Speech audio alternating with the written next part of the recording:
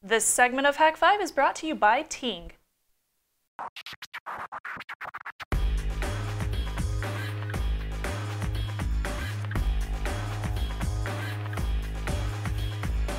We've been talking a whole lot lately about media centers, like the MK802 and the hacks that we could do with that.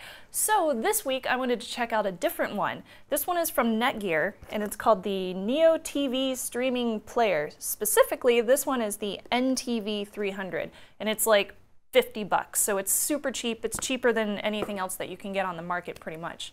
So it has a MediaTek ARM inside of it, a 128 meg flash chip, and 256 megs of RAM. And it also comes with this nice handy dandy little piece of paper that says GNU General Public License, meaning, hey, it's open source, so we know it runs Linux. And you can see on here, it runs Netflix. Isn't that kind of cool? So first off, we want to get into this thing as root, and we don't even want to have to open up this little box right here. Isn't that cute? That's a little Netgear NTV. Yeah, it's adorable, isn't it? So to get onto root, we follow the guide on this guy's website. So Craig figured out this whole really cool jailbreak of the Neo TV over at uh, slash dev slash ttys0, which is an awesome name for a website. So all you have to do is go into the settings to connect manually, and for example, I can do something like this. Go into your settings, go to network, and connect manually. When you type in your SSID, so you want to put in a backtick uh, and then type in something like reboot. And hopefully this works. Ha! It's rebooting the box. How cool is that? So the reason why this works is because adding in those little backticks makes it an injection attack it works because the developers of this little box, they didn't sanitize the user input, which basically means take out all those little backticks. And you can use that SSID line to run all sorts of cool commands. So you can tell it to go into manufacturer test mode and you can enable telnet and then you can have root on the box. How cool is that? And it's super easy. You don't even have to take a screwdriver to the thing. So the maximum length of this SSID is 32 characters, so you can't put all of your commands into there at once. But what you can do is create a shell script in slash temp slash a that has the commands and you can run it. Now to do this, first off, you got to change your directory to this, for example, a temporary folder. So to do that, I go over here, back down to the settings, and this might take a little while. So you'll type in backtick echo change directory slash mount slash ubi underscore boot, little greater than symbol slash temp slash a and another backtick. And hopefully it'll work for you.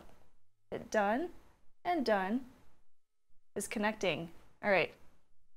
Now while that's working, the next thing you're going to do is make a new directory under the slash temp folder.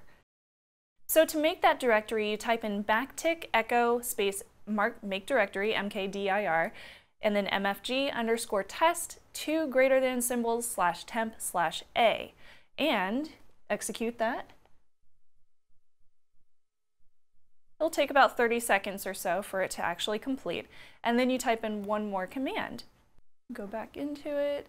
So basically all you did this time was change the directory over to that one that you just created. And next we're going to echo enable to create a new file called enable. All right, and now to create that enable file, so you go over here again. Always forget those, always remember those backticks. Don't forget them.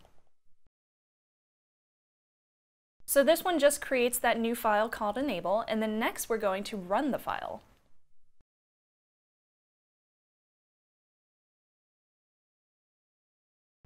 So when you run this command, it's going to tell sh, which is kind of like bash, but it's not, so don't email me about that, to basically run this file called A. And then it's going to restart. Hit done, done, and wait for it to connect and fail. Okay guys, now this is the really hard part. So I'm going to take this off of its little sticky pad and see this little power cable? You have to unplug it and restart it. It's really hard. Oh my god. And then you restart. Oh my God. And you wait for it to restart. Now, get yourself an Ethernet cord and plug it into your laptop and then plug it into the device. So now it has restarted. Yay! But we had all those failed error messages whenever we were trying to connect, so I don't know if any of those commands that I put in were actually correct. So one really easy way to figure this out is by plugging in a nice little Ethernet cord into the Netgear Neo TV and then plug in your laptop and go into your wired settings, Internet Protocol version 4, use the following IP address, and you want to change this to 192.16 168.0.101. And this one should end up being 192.168.0.100. So they'll be neighbors. Yay, wonderful. And once you do that, click OK. And I'm going to go into PuTTY. And I'm going to try to telnet into it. 192.168.0.100. Telnet, press open. Yes! Login, and the login is root. Ah, perfect. So we can do pwd slash root. And I can also do something like top. Shows me all my running things. That's awesome. So it totally works. I just got into this by telnetting and I have root access and you can now hack to your Linux content. And you can do all sorts of nifty things with it. It's Linux, so you have all the fun you want. Do you guys have questions? Do you have comments? Or have you actually gotten one of these nifty little devices and played with it yourself? You can email me over at feedback at hak5.org or you can comment below. Next up, we got viewer questions from you guys. Stay tuned. You guys have probably heard me raving about Ting recently, and for good reason. I absolutely love their customer first approach to the whole cell market. If you're not familiar, those are the guys up in Canada, those awesome geeks, geeks from TO uh, have you ever met a Canadian that's not like the nicest geek ever? And so get this, they've got the craziest idea for the cell market. It's like totally shaking things up. It's brilliant. It's megabytes, minutes, text messages, each of them billed separately. It's just kind of like a no-brainer because uh, they cut the BS. There's no ridiculous fees. You don't have to think about anything. You just, you know, if you use too much, you're not penalized. They just bump you up to the next plan. If you use too little, no worries, they're gonna credit you the difference. Those guys are awesome. They've been uh, they've been hitting the road. Like I just went up to a, uh, a Ting meetup, got to meet some of the like like what other you know um, cell phone companies have like like user groups and stuff. And so I went up to a Ting meetup, got to meet those awesome Canadian guys, give out some free phones and stuff. Those guys are serious about shaking up the cell phone market. I love it. You guys should head over to hak5.ting.com. It will automatically uh, initiate the coupon code, which is gonna get you $75 off your first month of service for just being a fan of Hak 5. So go check it out.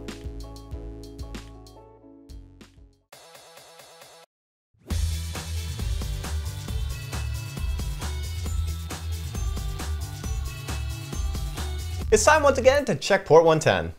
Oleg writes, in the last show you were talking about your need for a progress bar in DD. The solution is called PV, Pipe Viewer. All you need to do is know the size of the data being transferred to get an ETA. Here's an example of a 4 gig payload. You can do dd if equals slash home slash blah blah input bin and then pipe pv wait tac s 4000 is that milliseconds I believe? M for megabytes so 4000 M would be megabytes. Like 4 gigs. Great. Ish. And then you pipe dd of equals slash dev slash ddb sdb. Well, if that's what it is, and so I'm actually gonna here. I'll show you an example because you know okay. that's always fun. Let's let's just let's speak Linux commands out loud. Yes. Okay. um, so if I do dd and then my input file in this case equals oh you know I should probably find out what it is. Um, dftac h and we'll see that I've got a USB drive plugged in here. Yes, and it is uh, it's it's a 7.6 gig. It's an 8 gig. So if I do dd and then if equals slash dev slash sdb, and then I pipe that. So already I'm just taking uh, all of the information from slash dev slash sdb mm -hmm. and putting it into pipe viewer tac tac wait, okay, and then tac s, and this is where it's going to change. He says you have to have an estimate. So if so I was, you're taking the output and putting it into Pipe Viewer. Yeah, so it's kind of cute because yes. Pipe Viewer is acting as a man in the middle between the standard input and standard output in DD. So I'm like running DD awesome. twice, which is really cool. Um, I never thought about using it that way, and I love the idea that it's just kind of like a bit man in the middle. So you could use this for throughput. You could use this for just about oh, anything. Oh yeah, I guess you could. If you knew what, and then this is the thing that's the gotcha, the TAC S. the size. The size. Mm-hmm. So in this case, I know it's 7.6, so I'll say 7600 M. Yeah, sure, that's close enough. And then what do I do? I pipe that back to DD, and then the OF, the output file in this case, I'll just say slash home slash artwolf slash file dot image. And I don't have permission to do that, so I'll sudo bang bang. And there we go. Bang bang bang. And it's totally got the thing I was saying where it's like I wanted the the you know little equal sign with the greater than that goes across the screen and tells me the Oh, ETA and it's like yeah, this is gonna take an hour. Oh wow. Man, Yeah, DD is takes a while.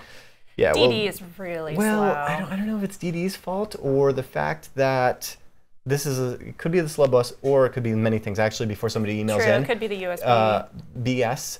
BS. You you can specify in DD the BS or the block size. Oh. And so without doing that, I'm telling it like I think it's doing it like I have no idea what its default bit si- uh, block size is, but if so you it's give smaller, it a bigger, slower. yeah, small, slower. Okay. Yeah, That that's the sense. idea. And he also said, um, Oleg said, I am a Unix, Unix sysadmin, and he uses it all the time to get approximate times for a process because there is nothing worse than telling somebody you don't know how long it will take. I can definitely quote that, especially in the shop. Just do what Scotty does. Just be like, oh yeah, that's uh, Captain to warp drive. That's gonna take Yeah, at least eight drive. hours. Who knows? Yeah. yeah. So he says it's good for any stream operation, MySQL import, packing, unpacking, and even searching and using grep.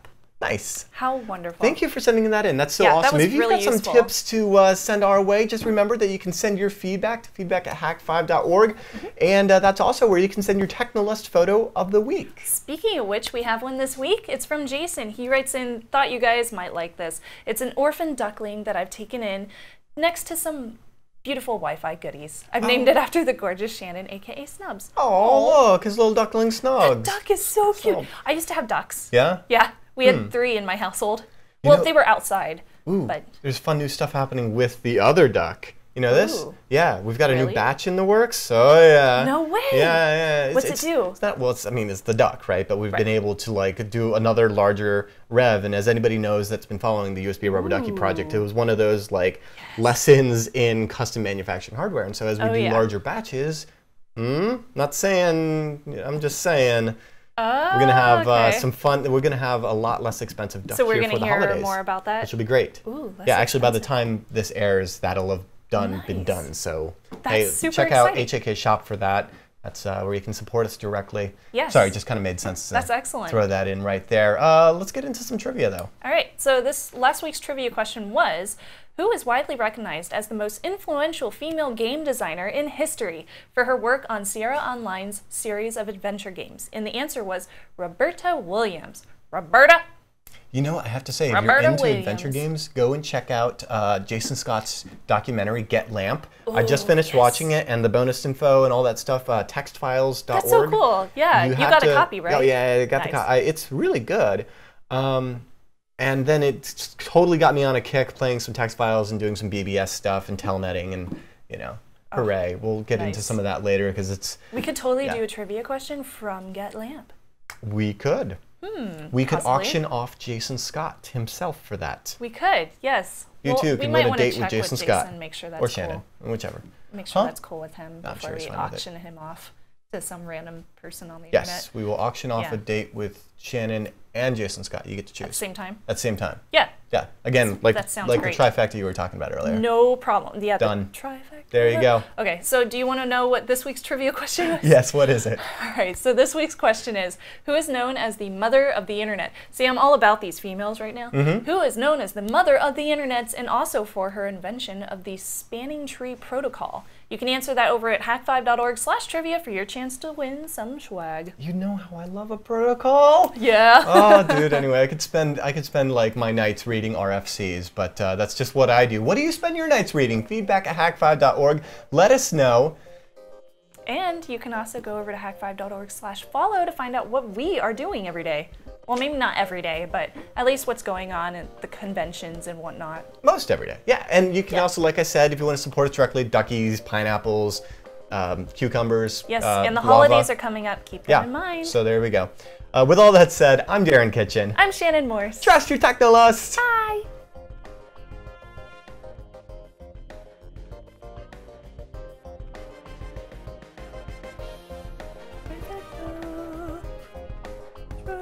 We need a Photoshop competition on that. Please, make it happen.